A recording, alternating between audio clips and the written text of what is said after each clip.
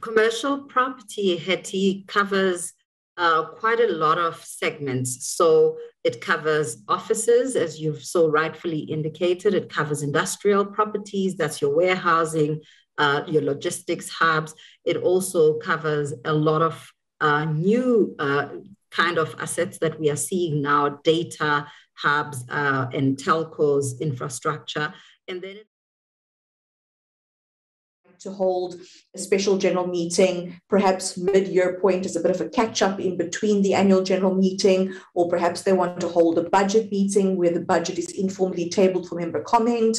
Alternatively, there might be some or other type of project that is needed to be raised um, or attended to, for example, conduct rules or management rules in a body corporate that need to be amended, um, or even if a meeting is needed to be called by the members, that's a big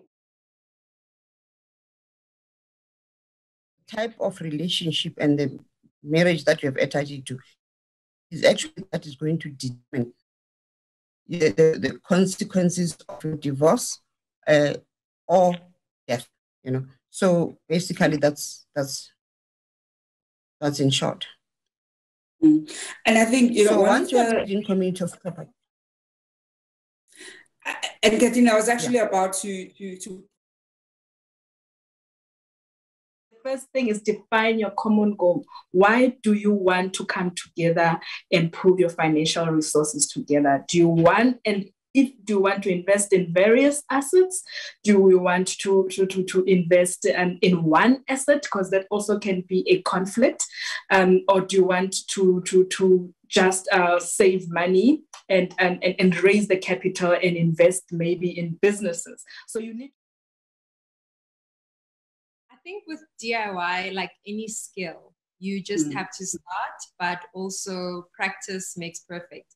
And the more that you do it, the more confidence that you gain.